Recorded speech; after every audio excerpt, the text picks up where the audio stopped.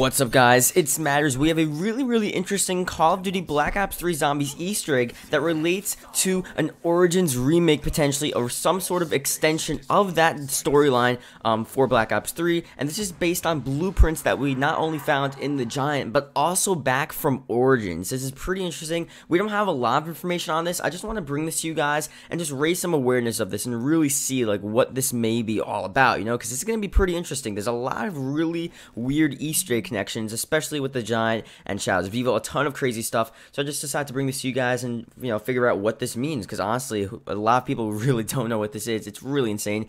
So let's get started here. The first image you're probably gonna see on screen now will be the one from the Giant. Now this was found from the Giant. Um, actually, a few I think MC Sports Hawk actually pieced it together, or some other YouTuber. Um, one of the YouTubers basically found these pieces of the blueprint um, are scattered around the Giant basically, and he put them together, and this is what we have. And everyone was talking about the four orbs. If you see, there's an orb on each sort of corner of the spear in the middle, and that represents the different dimension storyline stuff. Um, so that's pretty interesting. We don't really know a lot about that, but people were saying, I know the Gaming Revolution said, oh, like, oh yeah, it was the Mob of Dead storyline with the Shadows of Evil, and then you have the the Origin storyline, then you have like the Richtofen Nazi storyline, and then you have an unknown one or something like that. Um, I do agree with that to some extent. But then you're going to see the image on screen now. This is the one from Origins. It has the same sort of three orb thing, but look who are in the orbs. It's the Origins characters.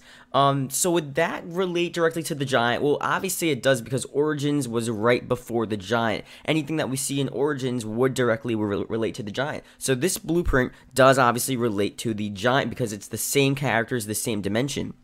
Now you're seeing the characters where the dimensional orbs were before. Does that mean we have a character's own dimension in each of those orbs? So basically you have, let's say the top right one, I'm not really, let me actually look at the image. Um, the top right one is Richtofen, and Richtofen has his own sort of dimensional storyline or something like that. Maybe as a, spin a spin-off of his, or Richtofen in a, a different dimension, and we have to learn more about that. And then the other orb is obviously Nikolai, Takeo, Dempsey, and all of that stuff, because obviously, as we see in the Giant, those four orbs, although we don't see the characters in the orbs, we do know that they relate to a new dimension to some extent. Now, this is weird because I thought, and a lot of people thought the Origins characters were all in the same same dimension. They're all in the same origin storyline.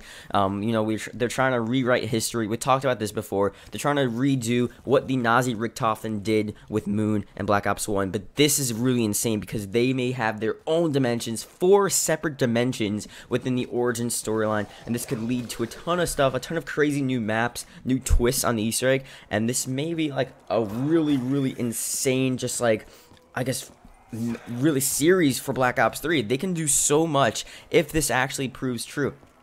Just to reiterate one more time, reiterate. So basically, look, if if it didn't relate, why would it be in the same sort of map dimension? The Giant is right after Origins. It all makes sense. Nothing is really incorrect here.